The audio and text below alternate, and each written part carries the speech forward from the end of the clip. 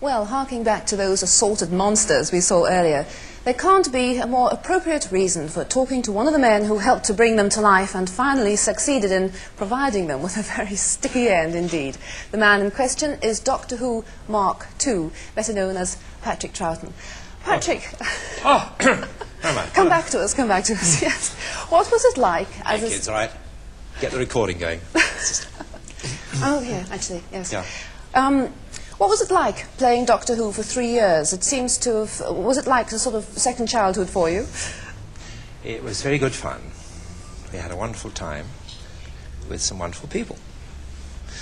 And it was, uh, well, it was a very jokey part, and so, um, In fact, you made it a jokey part, didn't you? Because Doctor Who Mark I was a little bit more um, serious. He was rather more old and, and cantankerous, whereas you, you introduced an element of comedy into it. well, we had to do something a bit different. Um,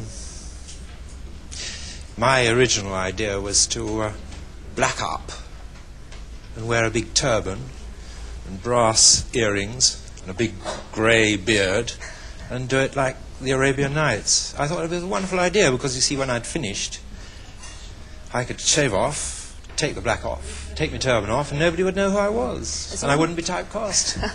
but they didn't think that was a very good idea. You haven't played very many comedies, but uh, Why is that? All the time. What? no, I was just wondering. You see, you introduced this element of comedy into Doctor Who, and yet really you were known as a serious actor. Does this mean that really, um, sort of underneath this serious face of yours, you, you really would like to play more comedy parts? But Doctor Who was a serious part. It wasn't a, it wasn't a, an unserious part at all. It, it's, uh, gracious me, uh, Billy had made him uh, this crotchety uh, old gentleman, and he was very serious, and I had to be very serious too. But the way I made it serious was by, uh, well, by making him a bit of a clown to start with, sort of offbeat thing, you see. But that uh, we started rather wild, and we mellowed as the time went on. you See. Was it in fact difficult making the change from Doctor Who back into uh, a normal acting role? Because you, you went into a historical character after that, didn't you? Yes, it was a bit difficult. Um, when you're in a part for three years, you, uh, well, let's say you get rather in the habit of playing it and uh, into that way of thinking. And uh, I suddenly had to uh, play a very serious uh, Duke of Norfolk. And instead of reading up about Norfolk and so on, although I did that, I found myself trying to think of all the ways I could be different from Doctor Who, see, because it was only, I only had a week in between finishing one and rehearsing the other. So um, I had to watch that very carefully, and it was just a bit, uh, bit difficult. Because you played lots of villains' parts, you played lots of heroes' parts as well. In fact, Oh, uh, am I right in thinking that you were the first Robin Hood on television? Yes, yes, that's right. What was it like About the time that that part? Stalin pegged out.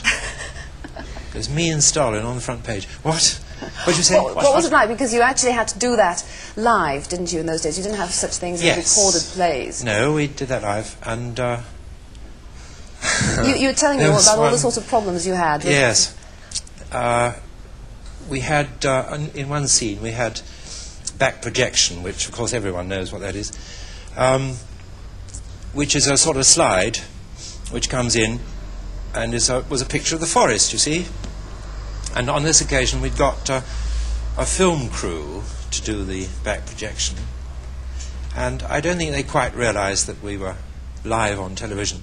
Anyhow, we started the scene.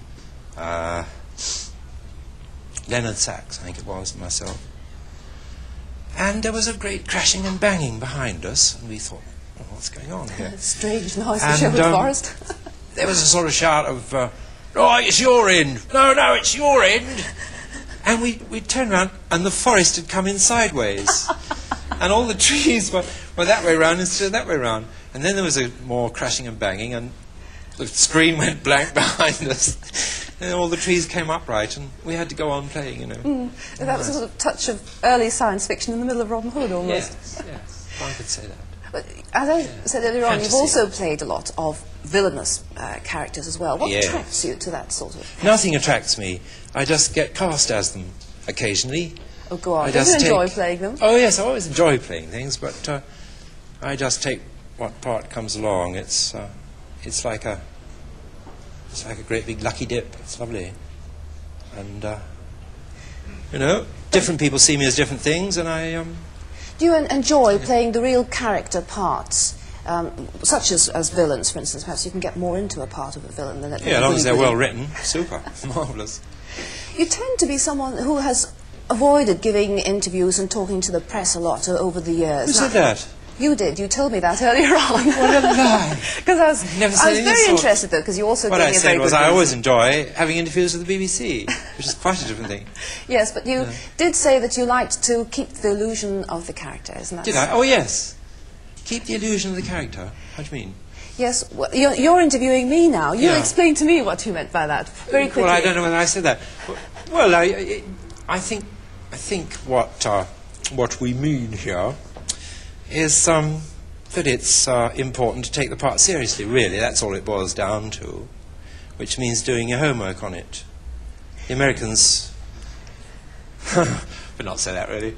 Ten years No. or fifteen years ago, they call it the method. You know what it really means is thinking about what you're doing at home before you come and do it. Really. Yes, and, and what it means that Patrick Troughton, the actor, enjoys Steady. keeping himself? Yes. apart from his the character that he plays. He's two separate people. Anyway, Patrick. I didn't say that either. You did. You're getting in a real muddle. lies, all lies. I'm trying to work out exactly what he did say, actually.